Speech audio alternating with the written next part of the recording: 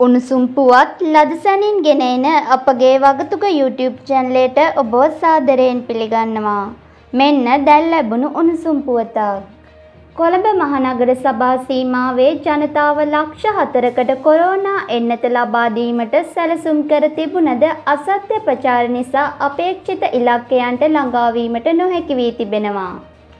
කොළඹ මහනගර සභාවේ ප්‍රධාන වෛද්‍ය නිලධාරී රුවන් විජේමුනි මහතා සඳහන් කරන්නේ විශේෂයෙන්ම තරුණ ප්‍රජාව මෙම අසත්‍ය ප්‍රචාර හේතුවෙන් එන්නත් කරණයට පැමිණීම අවම වී ඇති බවය.